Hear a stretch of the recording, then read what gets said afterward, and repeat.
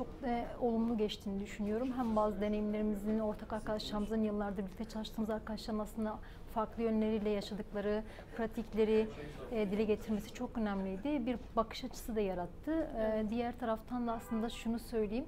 E, aslında hem çatışmalı bölgenin en yakıcı bölgede e, gazetecilik yapmanın farklı yönlerini de e, dile getirmiş olduk ve bunun avantajları ve dezavantajlarını dile getirmiş olduk. E, bu bölgede çalışan gazeteciler olarak aslında biz bu durumun hem e, hem tanıydık, e, hem mağduruyduk, e, hem de bunu ileriki tarihlere ya da ileriki nesillere dile getirebilecek ve bunu yazan e, kişileriz de aslında sorumluluklarımızın da aslında ne kadar bilincinde olduğumuzu ve bunu ne kadar bilinçli bir şekilde yaptığımızı ve ne- nelere maruz kaldığımızı e, burada aslında çok çarpıcı.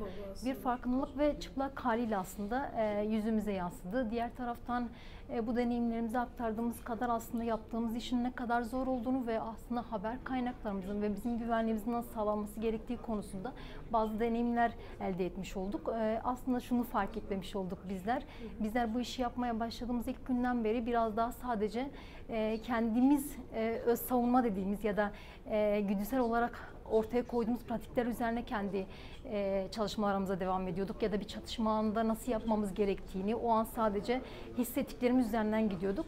E, ve e, görünen o ki bizler aslında yaptığımız işin e, aslında neler doğurabileceğini ve aslında buna karşı nasıl bir tutum sergileyebileceğimizi de e, kendi aramızda tartışarak da e, nelerin olabileceğini de gördük ve o konuda çok önemliydi ve bunun en önemlisi bunun devamının gelmesi gerektiğini düşünüyorum E, ve e, biz gazetecilerin yaptığımız işin sorumluluğunu e, ne kadar bilincinde olduğumuzu ve bunu da daha fazla e, daha güçlü bir şekilde sürdürebileceğimizi söyleyebilirim. Teşekkür